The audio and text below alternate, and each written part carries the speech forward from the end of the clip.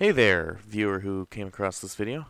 Welcome to my attempt at making a different kind of content on my channel.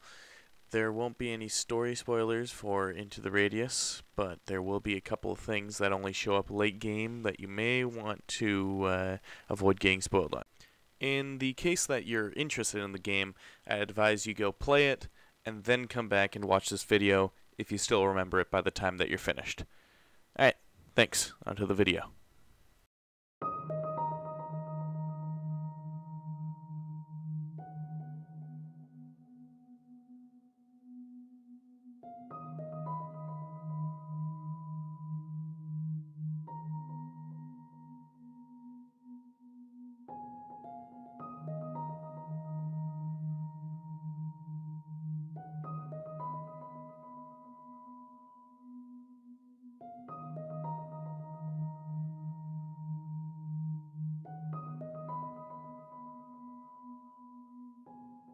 Over the past couple of weeks, uh, I've been playing a game called Enter the Radius. Or Into the Radius. They're very similar. Anyways, I've been playing Into the Radius a lot. And I mean a lot, a lot. If you were to jump off this video in about 10 seconds or so, then I would leave you with this. Into the Radius is good. Really good. The game's still in beta at this point, and it's already one of my absolute favorite VR games of all time.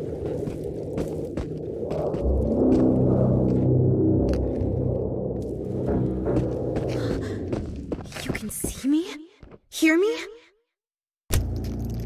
Just to start, the game's got incredibly good atmosphere. The game has very little prefacing the events of the world beyond the tutorial that takes place in a sort of dreamscape nightmare land. So, stepping out into the Radius's vast wasteland for the first time smashes you in the face with the fact that you're entering a massive, desolate wasteland. A wasteland that, uh, for starters, really doesn't like you.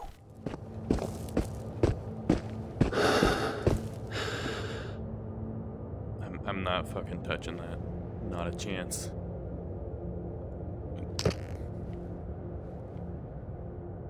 Everything from the small flakes that perpetually float in and around you to the cars suspended mid-air by literally nothing lets you know that you are in danger at every single point in time that you're out here and that you're just a little human in a big world full of funny looking circles and flaky old death monsters that really want you dead.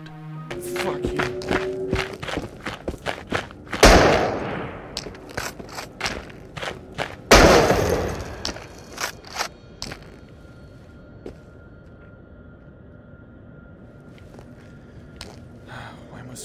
Single round not be enough?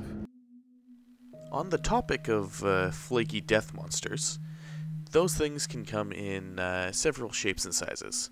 From normal looking human guy man dude to what in the holy hell is that? Please get away from me. Most of these guys opt to murder you dead through the process of throwing hands, with the occasional gun wielding police cosplayer showing up on roofs and at your door to shoot you. This lack of uh, variety in enemy attack methods sort of makes sense when you consider that the enemies have to be a fair fight for a schmuck wearing a toaster on his face. Due to that, many of the enemies you face will be unique in other aspects, such as weaknesses, or more commonly, how they move around, which they tend to copy from the various forms of locomotion that your typical VR user uses. This includes the guys who trudge around normally, the people who no longer give a shit and sprint through entire clusters of anomalies. Uh, you got the people who just teleport around and scare the shit out of you when you're not paying attention. And uh, you got. Uh, oh, you wander into my domain. Fight me.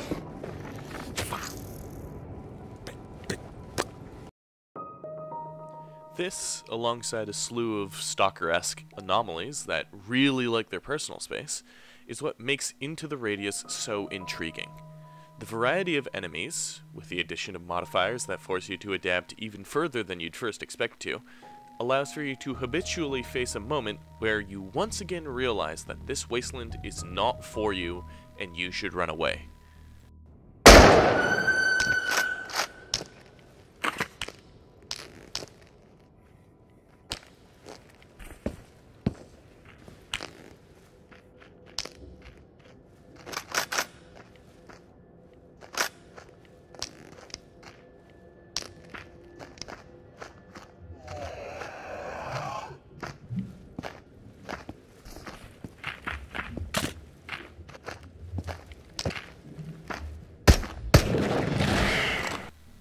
I think that the feeling of unbelonging is absolutely essential to Into the Radius's vibe.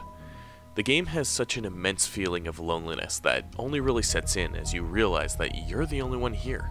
There's no shopkeep, there's no tutorial guy, you're alone, with only an automated turret to vent your sorrows to. Raise your hands above your head for identification.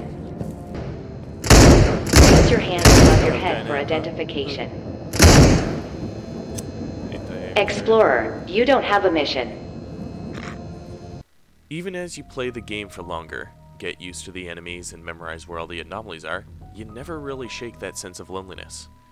Even when you think you've gotten past the lonely feelings, you might be able to catch yourself talking or singing to yourself to fill the empty space that would otherwise be filled by friendly NPCs.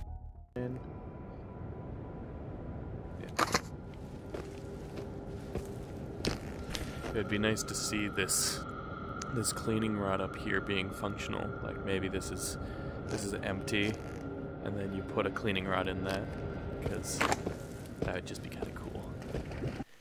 It can kind of feel like booting up GM Construct on Garry's Mod alone, and just walking around, taking in the silence that would normally be covered up by the chaos of you and your friends goofing off. It can feel serene at times when you just get to rest and look at your strangely beautiful surroundings. Oh, gee, it goes so far up. Like smokestacks that are just extending into the sky. That's crazy. But at other times, it can be crushing to know that you're all alone, with no one to show all your victories and treasures to.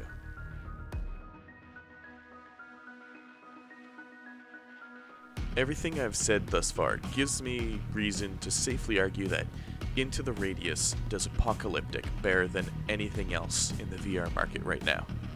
It has everything that makes a wasteland intriguing, and it does everything that it strives to do almost perfectly. Save for a few bugs that can be chalked up to the game being in early access, Into the Radius is an incredible game, and I'd advise anyone who can afford a PC compatible VR headset to check it out for themselves.